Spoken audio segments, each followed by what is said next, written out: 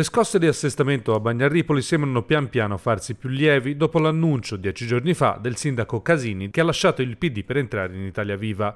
Dieci giorni in cui il lavoro del Partito Democratico è stato lungo e faticoso per tentare di mantenere la discussione su un piano costruttivo, evitando il rischio di far crollare tutto con la sfiducia del sindaco e il successivo commissariamento.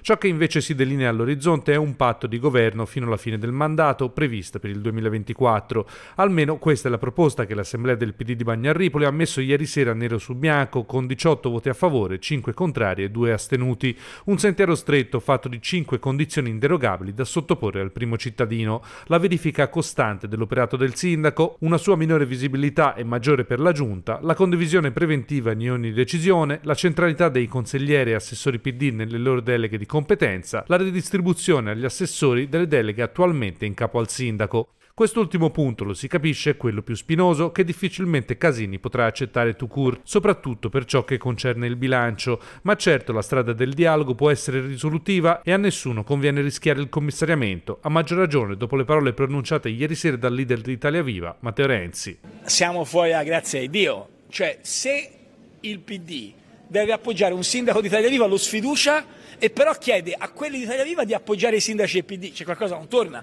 L'idea di mettere in discussione il sindaco perché è di un altro partito fa parte di una mentalità che non è una cultura di coalizione. Eh, se vale il principio che mandano a casa Casini, vorrà dire che noi bisogna uscire da tutte le parti in cui siamo con loro. Non credo gli convenga. Al di là delle minacce, dunque, all'orizzonte si vede una schiarita. Nei prossimi giorni il PD ripolese si impegnerà a spiegare ai cittadini, con assemblee pubbliche e riunioni, il passaggio delicato attraversato dal comune, così come verrà fatta una nuova verifica di maggioranza anche con le altre forze politiche. Poi, già questo venerdì, potrebbe esserci l'incontro con il sindaco e la sottoscrizione del patto, se Casini deciderà di accettarlo.